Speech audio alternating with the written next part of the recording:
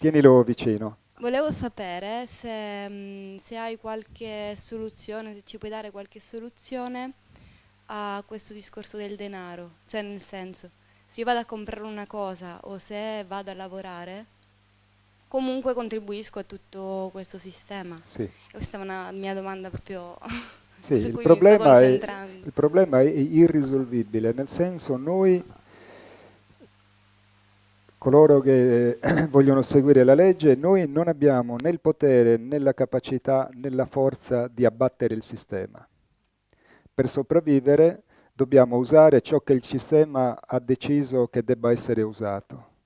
Quindi noi dobbiamo fare una sola cosa, che è abbastanza ovvia, usare ciò che il, il sistema ci mette in mano per abbatterlo.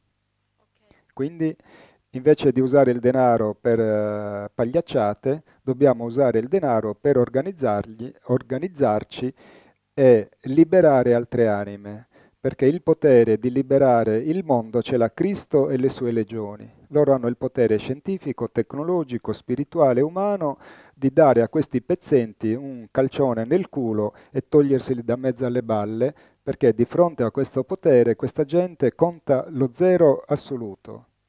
Illuminati, Bilderberger, sono una manica di cialtroni, di sciacquapalle, che di fronte alla magnificenza e alla gloria e alla potenza della, manifest- della manifestazione di Cristo strisceranno davanti a Lui come vermi, implorando pietà e dicendo che loro non hanno colpa.